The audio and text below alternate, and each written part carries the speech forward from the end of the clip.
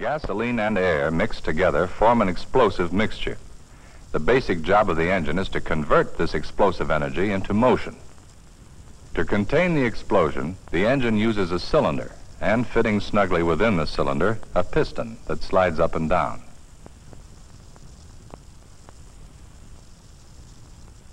Inside the cylinder, an electric spark ignites the compressed gasoline and air, and the hot gases from the explosion push the piston downward. The piston rod is connected to a crankshaft, which converts the up and down motion into rotary motion. The crankshaft then drives the rear wheels through various machinery, which we'll see later. Here is a different perspective on how the piston drives the crankshaft through the connecting rod.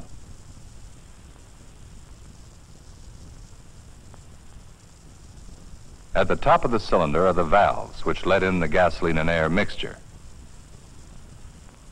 For increased power and smoothness, modern auto engines have a number of cylinders driving one crankshaft.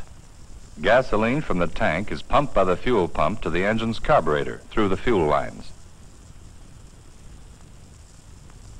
The carburetor mixes the gasoline with air to form the explosive mixture that drives the pistons. Here's a closer view of the carburetor. A linkage connects the accelerator pedal with a valve in the carburetor. Stepping on the gas opens this valve wider, increasing the gas flow and speeding up the engine. Easing off on the pedal reduces the flow and the engine slows down. Here on an actual engine are the counterparts of the fuel system just diagrammed. The fuel pump,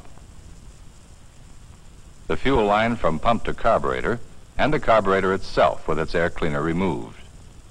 Here is the linkage connecting the carburetor to the accelerator pedal. The engine's electrical system supplies the spark that fires the fuel mixture. As the engine rotates, it drives a generator which keeps the car's battery charged.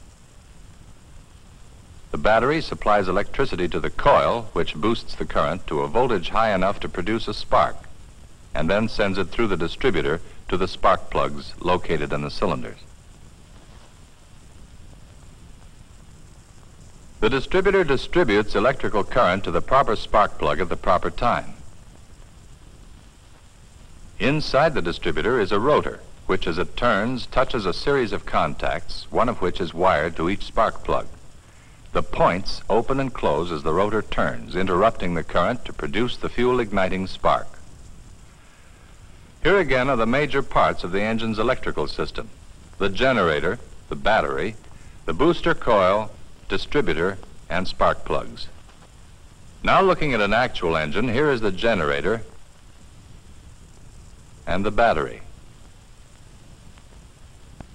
Together at the rear of the engine are the coil, the distributor cap containing the contact swept by the rotor, the rotor itself, and the points which sometimes need adjustments.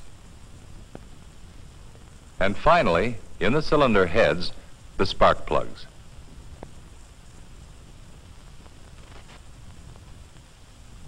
The engine on this model chassis contains nearly all the parts found in a working engine. Let's break it down to its fundamentals and then build it up again.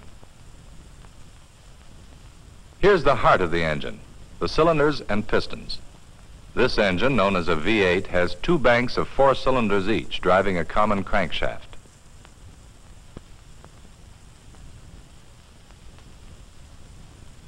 The camshaft, geared to the crankshaft, lifts and lowers the valves in the cylinders. Now the right and left cylinder heads containing the valves themselves and the valve lifters. The distributor at the rear of the engine is also driven from the camshaft. Now the fan, the generator, and a part of the cooling system.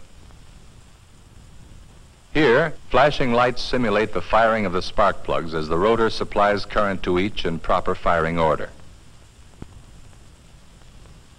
Continuing the build-up, here are the carburetor and the manifold.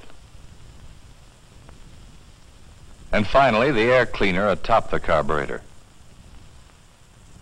Here is a rear view showing how the pistons drive the crankshaft. And down through the plastic housing, we can see the gearing connecting the camshaft to the distributor. Four, six, and eight cylinder engines are standard today. This V8 configuration is very popular for its smoothness and power.